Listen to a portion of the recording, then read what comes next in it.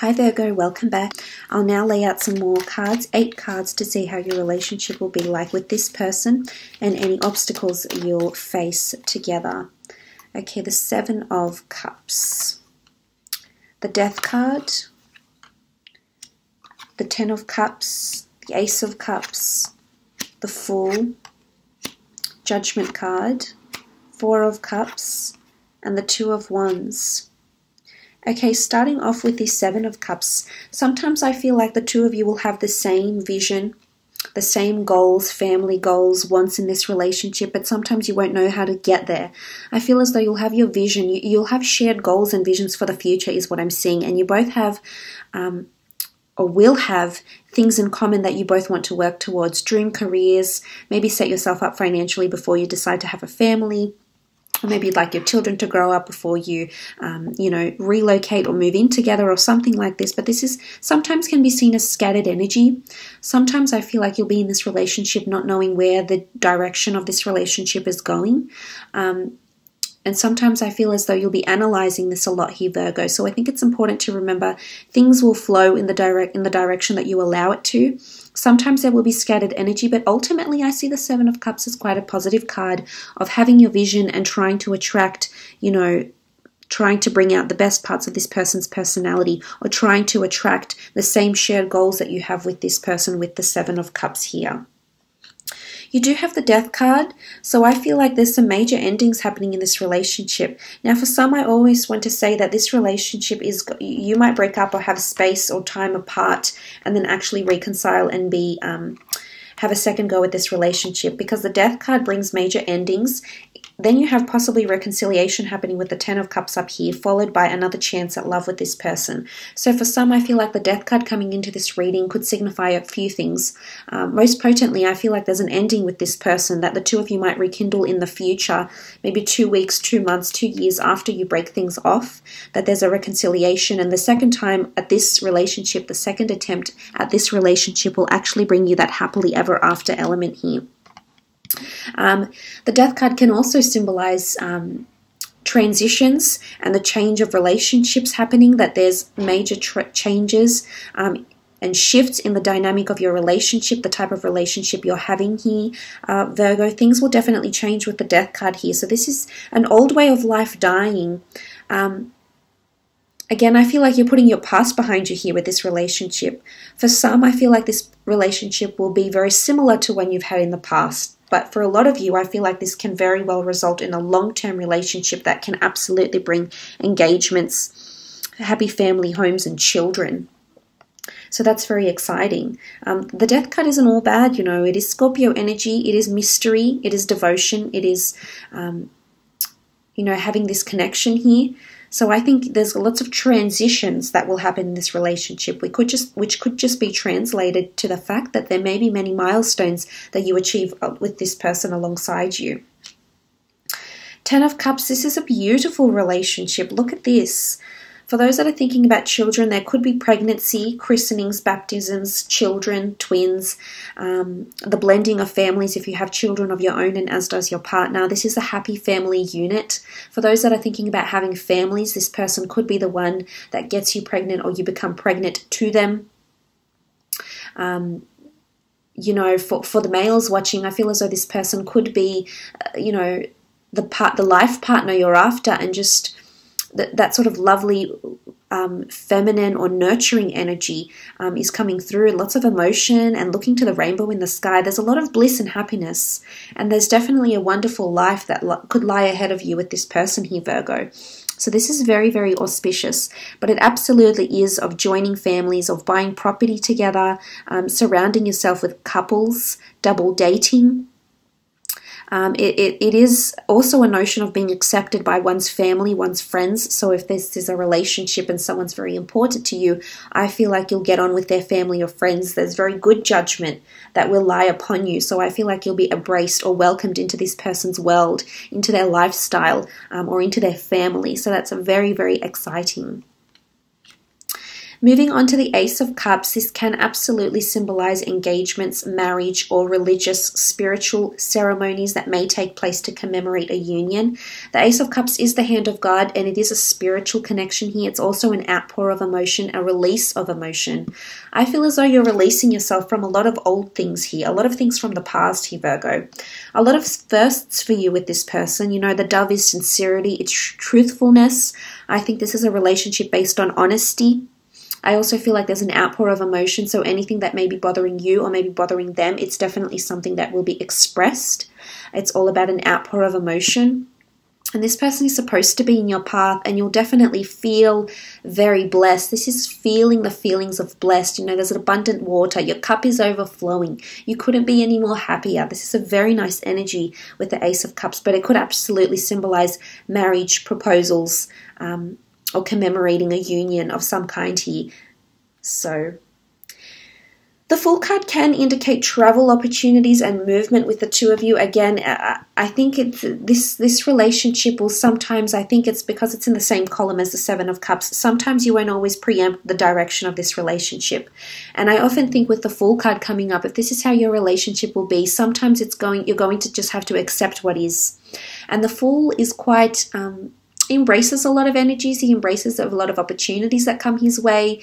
Um, I guess he doesn't attach too much analytics or logic to it, or logic or reason, which I guess you tend to do, Virgo. So sometimes you may find yourself out of your element here. And I think what the obstacle for you would be most prominently is that there's a lot of things that are going to be done differently in this relationship, and I just don't know how you're going to handle it, Virgo. It's not as if you have to change. You know, I never encourage anyone to change unless it's for the better. But you know, you are you in this body, in this life, with this personality, with these interests, with these um, desires, with these dreams. And no one can ever take that away from you, Virgo. But sometimes I feel like you're going to have to learn to be a little bit more like the fool. And maybe not so much listen to your inner judgment, but more so your passion, your desire, your heart. You know, the fool is a nomad, he follows his heart, um, unaware of the consequences. And again, I wouldn't encourage change. I mean, unless it is for the better and unless it is a more healthier life, life way of thinking, I suppose. But sometimes I feel like the, the obstacles you're going to encounter with this person is that the both of you have to take chances and have to take risks and have to have faith it's not logic and reason that's going to validate your actions, but faith. And I think that's probably the biggest obstacle you have here um, in front of your relationship. You know, it's about the judge. The judgment card is here, so judgment calls. Um, forming a judgment, forming an opinion, weighing up the pros and cons. So, you know, the fool card is here with the judgment card, and they're two very distinct um, ways of thinking here. And I think with the judgment card, your judgment is going to change from this person. You're also going to receive judgment from them, whether good or bad. I think it's good. I think a lot of what this person will teach you, I think you're going to do away with. So I think it's leaving behind negativity. You know, the death card has the skeleton, it has a black flag. So sometimes we associate anything in the past that we've done, past habits, past toxic behavior, past toxic thoughts, past bouts of anxiety or depression. I think you're honestly leaving this behind, and this person is going to act as a gateway to you, leaving behind this negativity. But the judgment card is a very warm embrace. It is a card of embracing. It's a card of happy family homes. Um, it is a card of feeling welcome, feeling at home, um, being, you know, a good judge of character, um, making those important judgment calls as well. It is also karmic lessons that need to be learnt with the judgment card. This is the universe, the angels, God's spirit energy that's giving you these lessons and you're going to have to embrace them. You're going to have to face the music so to speak. So again, it's it's going to be quite confronting here. I feel like with what this person is going to teach you or how you're going to come to realize how you're acting or what you're doing, you're going to be confronted with yourself, so to speak, because the Four of Cups is all about self illumination. It's about this is the tree of life, so this is the, the way you've known to be, Virgo. And suddenly, this hand of God comes up and offers you something you're not used to that can change your direction of life. So, what I want to say is that this relationship, if it doesn't turn out in marriage and children and that happily ever after sailing into the sunset, growing old together, which, you know, till death do you part literally could be the case. I feel as though with the Four of Cups, this relationship is going to change your life in a really, really, really big way, especially to do with um, your perception, your thinking, your thought pattern, judgment calls, and the way you think about attracting things into your life. Um, this is the tree of life, and this is life altering illumination coming with the Four of Cups. And this is this had to happen because it's going to teach you something that you'll be able to take with you to the grave, so to speak. Um, so you'll definitely be learning a lot about yourself and this other person here. And also with the Two of Wands, this is a card of journey, exploration, travel, pursuing wanderlust. In fact, there's two travel cards here. So some of you will be relocating to be with someone else. This could eventuate into a long distance relationship for others. With the death card in sort of in between these two travel cards, I feel like there's going to be periods where you're reconciled and you know you're in each other's company, whilst other times you don't know the direction of this relationship because there's distance created between the two of you. There's an ending of, um, I guess, communicating with each other face to face because work or, or, whatever it is, whatever the reasons, this person has to be separated by you geographically is going to change things for you. So, for some, if this is going to eventuate into a long distance relationship, I do see challenges up ahead for you because you're going to question every time you're apart or there's an ending or a goodbye, you're going to be questioning this relationship and it's going to be quite cyclical, um, is what I'm seeing. But look, the Two of Wands can indicate this long distance relationship, a bit of back and forth energy, um, communicating via, you know, the world, traveling the world, um, with the Two of Wands energy, it's also establishing a base and establishing a place where you might meet up in the world as well for some of you. Let's have a look and see what they're wanting. What are they wanting from you? Okay, they want all their wishes to come true. Nine of Cups, the Emperor, King of Pentacles, and the King of Swords. Okay, they want the real deal here, Virgo. They don't want, you know, that all that BS. They don't want the drama. They don't want the games. Nine of Cups, this is everything they've ever wished for. Um, they really hold love in high regard. And for this person, I think it's not career that's that's at the heart of what they want out of life. I think it's love, commitment, family. So I think you have a traditionalist in one sense, but this is what this person is wanting. They want someone that's going to tick every box for them. So yes, they have high expectations, they have high standards, but they're not accepting anything less. Look at this energy. Emperor, King of Pentacles, King of Swords. Physically, they want someone that can give them a lot of emotion, guidance, protection, and nurturing with the Emperor card here. They want someone to be able to mentor them.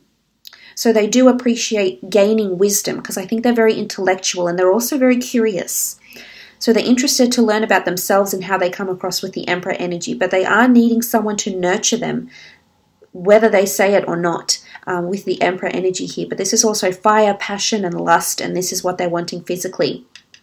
Stability wise, with the King of Pentacles, I feel like they're wanting to move in quickly, they're wanting to establish themselves with you quickly, um, they're wanting to establish roots. Um, it's, it's a card of complacency, it's a card of uh, stability, security, and having consistency. So they want consistency in action, in words, in affection it can't be half heartedly done. And I feel that's where the challenge is going to lie because this person wants stability, but with the death card and the fool, new beginnings, death, new beginnings, reconciliation, questioning where your relationship is going, this is going to prove to be a challenge for some of you.